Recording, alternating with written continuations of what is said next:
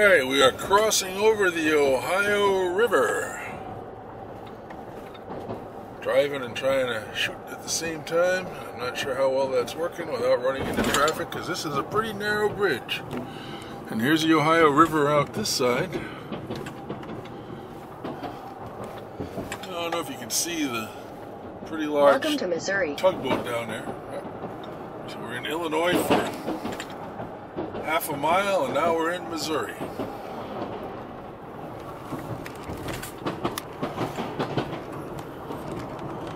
So the Ohio River.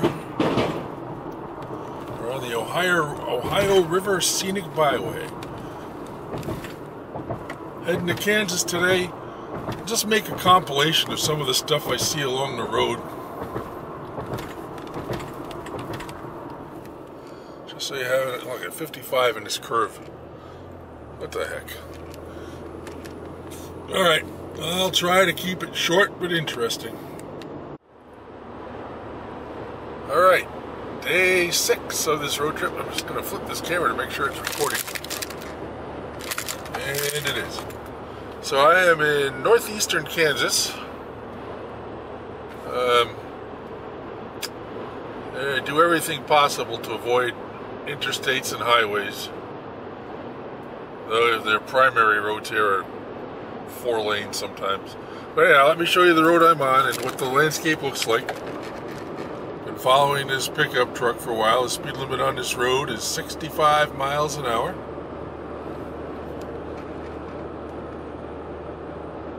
Every once in a while, you come to a town and you drop down to 55, 45, 35. One town even had a speed limit of 20 going through Main Street. This is what it looks like out here. Eastern Kansas is rolling hills. Right now, I'm in cattle country, but I've been passing through different crops. And if I'm not mistaken, I'm not real familiar with Kansas because I used to do like Nebraska all the time as I get farther west, I'll, I'll hit the uh, the wheat fields and all that. So anyhow, just a little throwing out there to show you what it looks like. And when I come to a town, I'll I'll turn this back on and show you what the towns look like. They're they're pretty much identical. All right, here we go. Typical western farming town. Speed limit's dropping to 45 from 65. Beloit city limit. Don't know if you noticed the sign with all the rifle shots. This is a small town, so it doesn't have much of a tractor. Some of the bigger ones have these massive tractor stores. And then there's the smaller grain elevator, or all the, uh, and, and it's big, but it's small for this, for, for some of these places. And it's where the local farmers just bring their crops and there's a railroad track that runs alongside, and at certain designated times, the railroads pull up, take the grain, whatever the or the crop, whatever the local crop is, and uh, take it off to market. Small car dealer over there. That one didn't have a main street. Some of them have main streets, so we'll keep looking.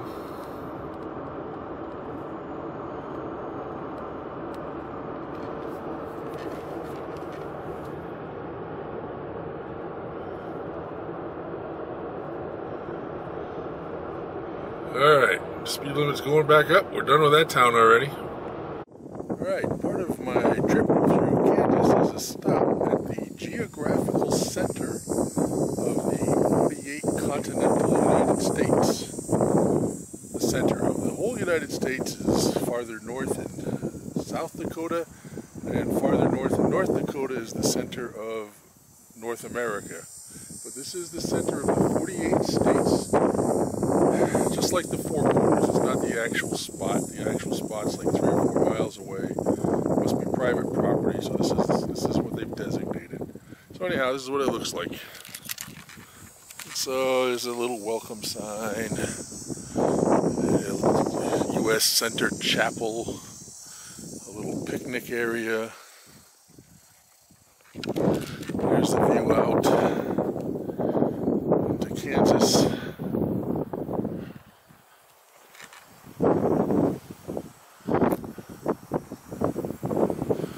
Here we are at the alleged geographical center of the 48 states. A couple flags going up here United States and Kansas. Let's see what the marker has to say.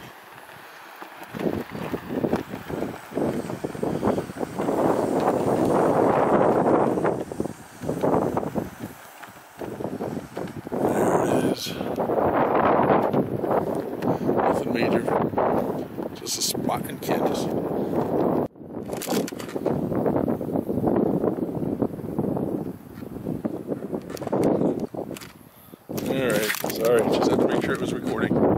One thing I will tell you up here, looking out here, it's a little hillier than normal in Kansas. But uh, notice there's nothing to stop It is windy. It's 11.30 in the morning. Sunny day, no storm, just super windy because wind blows for hundreds of miles without anything to slow it down or divert it. Uh, that's what you get. All right. I've been on the road today so far, five and a half hours. I started in Kansas, and I'm still in Kansas. Uh, eventually I'll get to Colorado. I don't know how far down the road that is. Whoa, I want you to see this. If you hate traffic, in the last 30 minutes, that's the second vehicle I've seen. And I'm doing 70 miles an hour in a 65 mile an hour zone on this road. So, if you hate driving in traffic, this might be some place to just come drive around on a vacation. Two vehicles in the last 30 minutes, and you got to see one of them notice there's no bends in the road. There are hills here, but it just, I'm going west. I've been going west, and it just keeps going west. We'll wait till the top of this hill to see what's going on.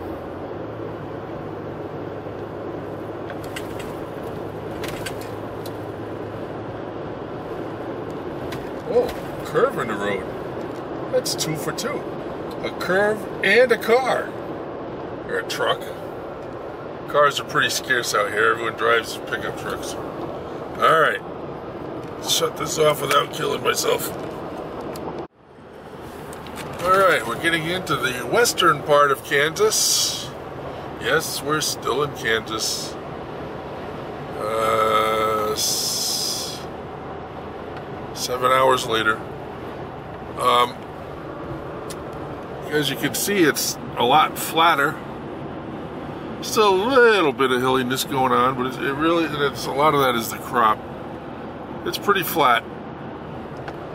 We're coming up on a town, and, and literally every town, as a matter of fact, the town I just went through, I don't know how they called it a town because all it had was these uh, silage storage, or the, the grain storage, whatever these elevators are referred to as. There's more off to the side. And more. But they have these big ones along the, the railroad tracks that all the local product is brought to. I'll show you these as we go by. This is not the biggest one I've passed, but it's pretty good size. So it's got all these big storage facilities for the grain, or crops, whatever the crops are. There's another one. You can see the railroad tracks. They're working on the railroad tracks. Whatever they're doing over here. There's a few houses on the other side, and that's pretty much the town. We're back to 65 miles an hour. So, where I'm from in New England, the towns are all built or, or started off at least on the rivers because they use the rivers for transportation, for powering their textile mills and everything. And so they're all built along the rivers. Here they're just built along the railroad tracks, and they're all based on the farms and the crops. So no rivers necessary, just getting your crops into the, the local towns. And, and so you travel along at 65 miles an hour for, I don't know, anywhere from 5 to 25 minutes so you hit the next little town that uh, is set up simply for, for these farmers. So it's just it's a different way of life out here. It's a different setup. It's really cool. I really enjoy coming out and seeing this stuff. And I'm glad I can share some of it with you. I am in oh, I am in eastern Colorado now, straddling the line on the road, which is not a good thing. Um, I've held off. It's just a hazy day. I don't know if it's hazy like this all the time or not. I've been able to see these things for like the last 20 miles, but I don't know what the camera could do. But if you look in the distance, those are the Rocky Mountains. Let's see if I can, once this vehicle goes by, I want to see if I can zoom.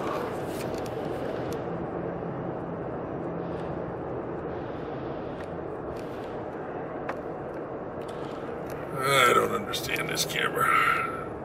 Doesn't let me zoom sometimes. Hold on, I'm going to stop it and come back. Alright, it's pretty bright, pretty. We're shooting towards the sun, but those are the Rocky Mountains. It's still 20 miles from them. I'll be driving through them sun Monday. Tomorrow, well, I'll be in them tomorrow too, in Colorado. But this segment is Kansas to the Rocky Mountains, so that will be a different segment. And uh, I don't know how well it's showing up on here. Gonna pause and come back out. Doesn't seem to let me zoom when I'm videoing. I have to look this up. But those are the Rocky Mountains. I'll show them to you one more time when I get closer. Literally, I'm sitting here, I was sitting here listening to Ray Charles sing about America the Beautiful and Purple Mountain Majesty. And, and it's, it's just pretty amazing. So I'll be back one more time in this segment. All right, here are the Rockies, a little bit better view. I mean, not a great view. We'll get great views. I'll be driving through them. And I'll be sure to share some of that. Got traffic out here now. I'm on a different road. Getting closer to uh, some level of civilization. But they're pretty spectacular. They run from New Mexico all the way up into Canada. And uh, I'll be hitting the New Mexico ones later this trip. I've been in southern Colorado Rockies, middle Colorado Rockies, northern Colorado Rockies, Wyoming Rockies, uh, Idaho, Montana. I did a couple national parks Rockies up in Canada couple years ago. It, it just it's spectacular stuff. And uh, now just be babbling because there's nothing to see. But it's just really cool stuff, and I hope to be able to share some of that with you from this from this trip.